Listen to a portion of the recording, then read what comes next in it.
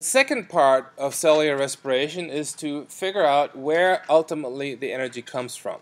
And it turns out that the energy comes from the moving of electrons. We're going to move electrons around. We're not going to let the electrons fly off undirected. We're going to actually make use of them and take care of them. If you want to, you could say this is one of the big differences between how our combustion engine works and how our cells work. Combustion means that you're basically blowing things up, and as a consequence of that, bits and pieces fly all over the place. And you have a lot of noise, and you have a lot of heat, and you have a lot of flash.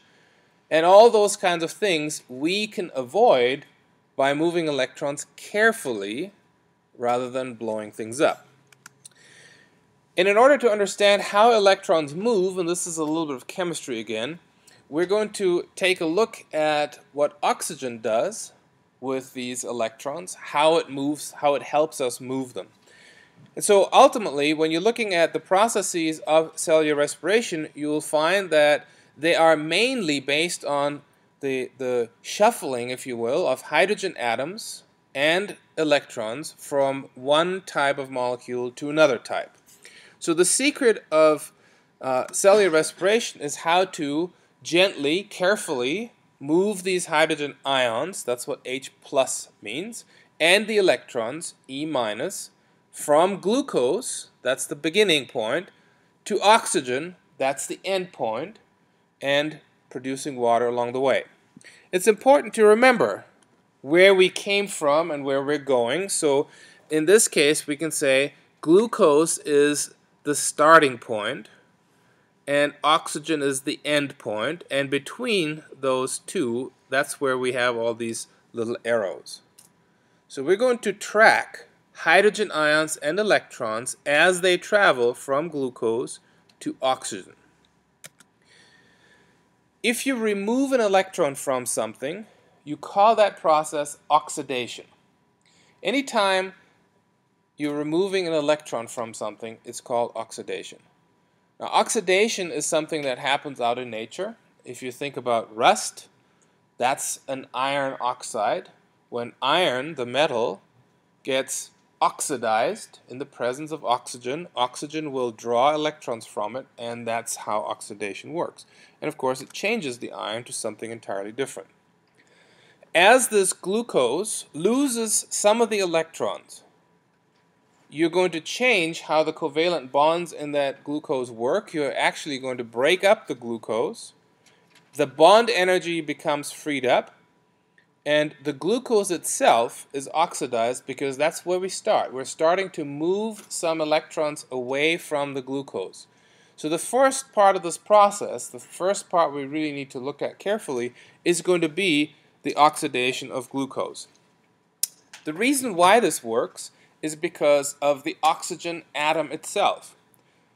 Remember, we have a variety of atoms that are important in living organisms, and carbon was one of those. And the reason why carbon is so important is because it can make four covalent bonds. That's one of the important features about carbon. Well, one of the important features about oxygen is that it is a very powerful electron magnet, if you will. It attracts electrons. And so oxidation is something that we always have to live with in an atmosphere like ours that is rich in oxygen. And you can see oxidation in many places. I talked about rust already, but for example, think of the Statue of Liberty. That's green, right? And the reason why it's green is because some of the metal that the Statue of Liberty is made of is copper, and copper oxide is green. So when that statue arrived, it was actually a bronze color. But over the last, you know, hundred and some years, it has changed its appearance to become green because that's what the oxygen does to us. Your wrinkles as you age are also something that happen because of oxygen. Our skin, being exposed to oxy oxygen and a variety of other environmental factors, is going to age because the oxygen is always trying to attract some electrons away from some of the molecules in our skin. When this happens in an exchange, meaning the electron is moved from one place to another, that's an orderly process and that's an efficient process. And when you do this, you are working with something called redox reactions. That means that as something gets oxidized, meaning it loses the electron, something else receives the electron. And when that happens, the transfer of electrons like that, that is one redox reaction. Whereas electron loss is called oxidation, electron gain is called reduction. Now here is again one of the differences between combustion and cellular respiration. In combustion, you don't care about the careful transfer of electrons. You blow things up because that's going to release energy as quickly as possible. That's combustion and that's what's needed to make an engine work. But that's not what we want. We are working with greater efficiency and so we want to have oxidation go along with reduction. We don't want loose electrons. So the processes, the chemical reactions in our body that deal with cellular, uh, uh, cellular respiration are all redox reactions. So one of those molecules is going to lose the electrons, that one is oxidized, and the one that gets the electrons, that molecule is reduced. So there's always this interplay between what happens to one is going to change the other. One of the questions is why electrons, the moving of electrons, actually transfers energy to anything. Because electrons, after all, are going to be in bonds all along the way. If we start with glucose, well, the electrons are being shared in that glucose, right? If then we transfer this electron from that molecule to another molecule, they're being shared again. So how is this molecule actually, or this electron actually going to lose any energy? Well, it turns out that when you move an electron from one place to another, it is going to lose a little bit of energy because that's what the second law of thermodynamics tells us. And this is important to remember. The second law of thermodynamics is telling us that energy changes are never 100% efficient. That's why we needed to know about this law. Because otherwise, we're going to look at glucose and there's a bunch of electrons zooming around. Great. And now we're moving those electrons someplace else and they're going to be zooming around there too. They look the same to us. But because we've transferred them and they carry energy with them, it's an energy transfer, which means by that definition, the second law of thermodynamics, they will have lost a little bit of energy. Not a lot. Perhaps not enough for us to even measure, but they will have lost some energy. So they're moving to a state of lower energy whenever a redox reaction takes place. Whenever an electron is moved from A to B, it moves to a lower state of energy. And that's what this, this diagram says here, there is a release of a little bit of energy. That's what the second law of thermodynamics tells us. It's kind of like what we saw with this uh, diving board. If you're on top of the diving board and you jump off, we all agreed that potential energy is converted to kinetic energy. Now, if you jump from the top of the diving board, you have a certain amount of energy transfer. But what if you step down only one rung? Don't jump from the top, step down one rung. That's what, maybe a foot different? And you jump off from there. It's not going to feel much different to you. It's not going to look much different to anybody who watches. But based on the energy and where you came from, you can understand that there must be a little difference you didn't quite have as much potential energy as you did on top. And therefore, there's going to be a slight difference in how much energy was being transferred. And this is the same principle here. It's just a little bit. Another example is if you're taking a tennis ball to the, the top of a hill and you're making it run down the hill. Most hills it's not going to be entirely smooth, right? So the tennis ball is going to bounce. And every time it bounces, you can hear it, so there's a little bit of energy lost. Or perhaps it encounters some rocks, some branches, some leaves, and it scatters those. So you can see that that tennis ball, as it moves down the hill, is imparting energy onto other things. And that tennis ball is pulled down by the force of gravity. Well, in this case, the electrons are being pulled by oxygen. In this setup, oxygen is our gravity. It's our electron gravity. And that's how you're always going to get a little bit of energy lost to this electron as it moves. And we're going to be able to tap into that energy. That is the critical, tiny amount of energy that's giving us the ability to build large organisms like ourselves. So the movement of electrons is a very subtle thing, but it's very powerful when you start thinking about billions and billions of electrons. Think about electricity. You can't do much with one electron. But when you put it at 110 volts and you send it through the walls and you streamline it and you put it through the, the light bulbs, then all of a sudden you have this huge effect. You just have to keep it going. And that's how our electron system works. Now when we look at cellular respiration, we're going to look specifically at a system in which electrons are being transported, and that's called an electron transport chain. So when we think of this whole thing as the electron uh, traveling down an energy hill, there are many different molecules. And if you look at the top here, this is where we have electrons. When they come from the food, they're actually going to be carried by a little electron basket of sorts. And this electron basket is going to release the electrons on top of this energy hill. This is the energy hill, and then the electrons are going to run down the energy hill, and they're going to move first to the first electron acceptor.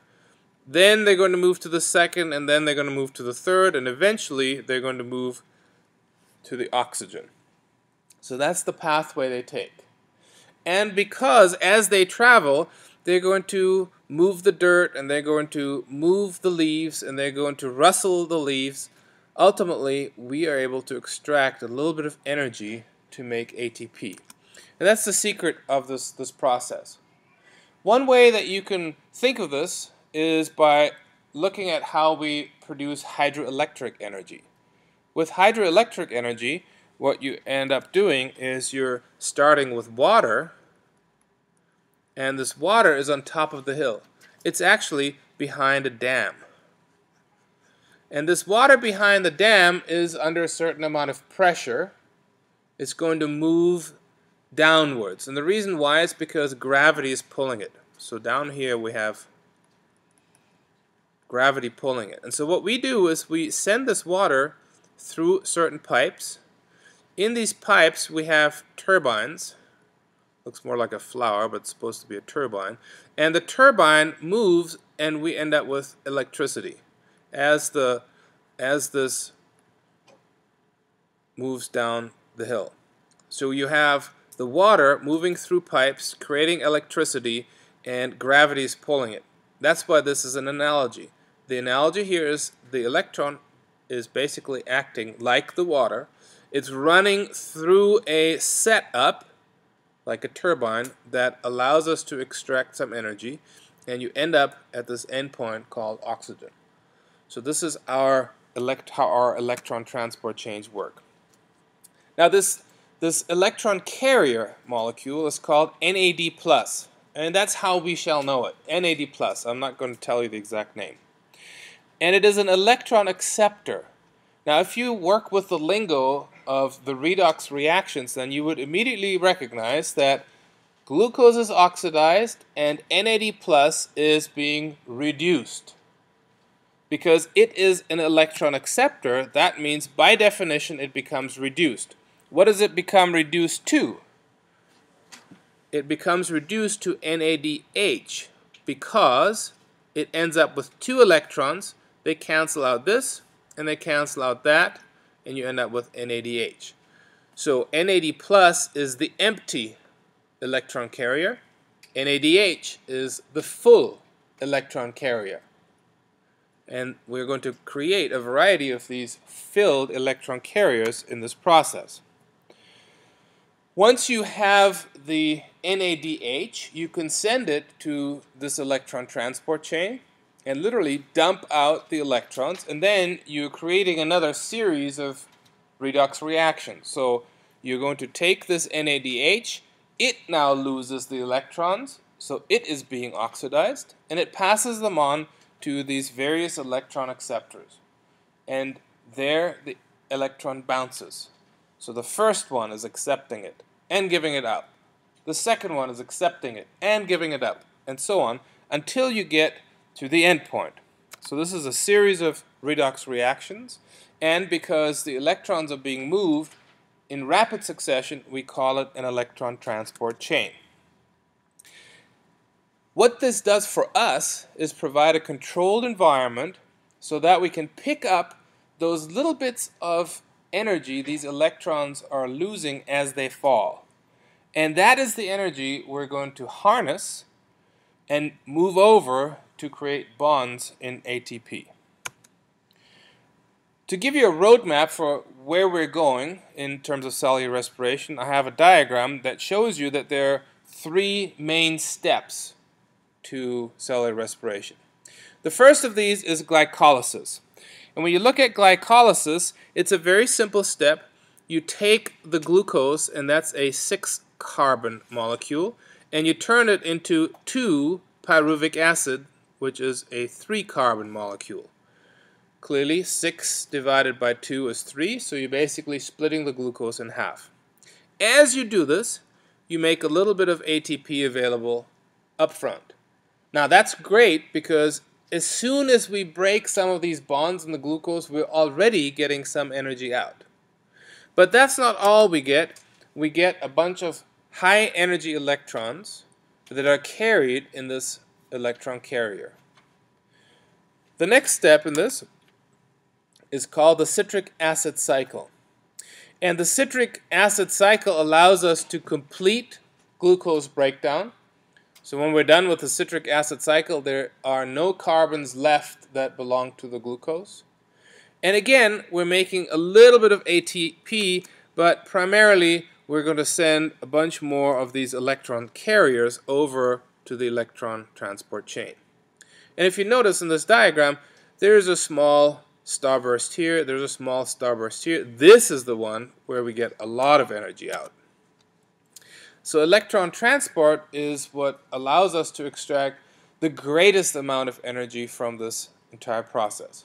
And it turns out without the electron transport chain, we as large organisms would be in real trouble.